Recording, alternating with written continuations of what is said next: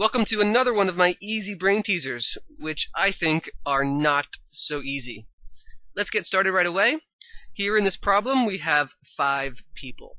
And these five people can build five houses in five days.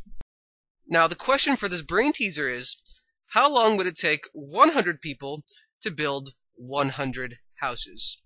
Now, you can assume that every single person builds a house at exactly the same speed, and we know that five people can build five houses in five days.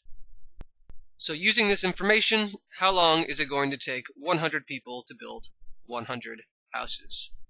Pause the video if you need to, because the answer is coming in five seconds.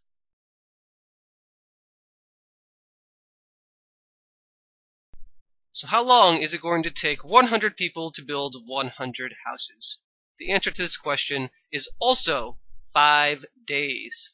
Although we have 20 times more houses to build, we also have 20 times more people to build them. So in the end, it's going to take the same amount of time.